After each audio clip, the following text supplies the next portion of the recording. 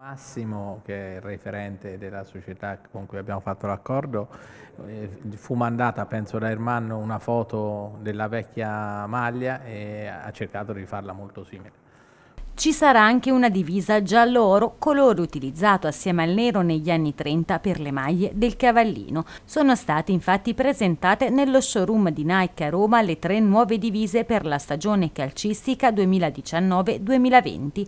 L'Arezzo indosserà l'amaranto, il bianco e appunto l'oro è una cosa molto importante perché vuol dire che l'Arezzo è considerato, perché una maglia Nike non ce l'hanno, come ho detto, parecchie squadre Lega, però poche. Nike è talmente grande che fa 2000 prodotti, quindi è normale che ci saranno tanti prodotti e quindi per la gioia, penso, dei, dei tanti tifosi aretini che potranno comprare dal cappellino alla, a, a tutto, diciamo merchandising è chiaro, è una bella fonte, però è una fonte sempre abbastanza minima perché il, il bacino rurense è sempre quello. Tu devi cercare altre forme di finanziamento, proprio per quello io sto lavorando su questo progetto di crowdfunding. Domani un incontro molto importante a Roma, e, cioè a Roma qua, perché siamo a Roma, e vediamo un attimino di porre le basi, perché quello potrebbe essere una cosa molto molto interessante molto il mister perché è molto convinto, pochi avrebbero detto una frase del genere, però rappresenta proprio l'uomo di Donato, come me l'avevano rappresentato.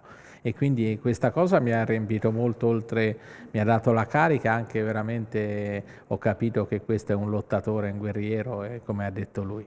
È chiaro, la squadra ci sono, come abbiamo, prima parlavamo dei cambiamenti in lega dei minutaggi, quindi tu devi fare quest'anno una squadra dove tot minutaggio lo devi raggiungere per forza e quindi i 3-4 under dovranno sempre giocare. Però stiamo, come al solito, siamo sempre ottimisti perché sia Emiliano che Ermanno sono bravi e quindi speriamo come l'anno scorso di trovare, come ho detto, qualche jolly.